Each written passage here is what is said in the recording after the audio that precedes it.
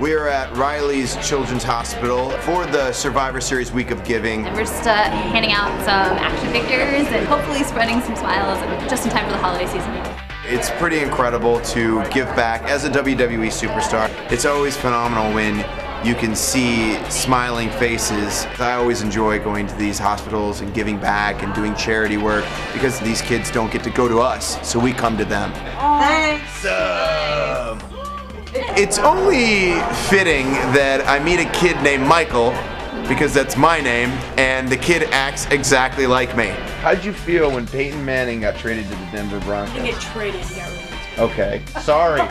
Oh. You know, I'll, I'll just be over here, all right? I'll be over here. Not only does he act like me, but he was very good at dishing it out. Well, let's be honest, the Cleveland Browns are a horrible franchise.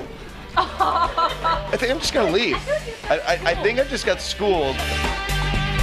These kids are so cute and you know, you think you're tough and then you, you see them and, and that's what real toughness is. And I'm happy that we can do whatever little that we can to, uh, to help them out.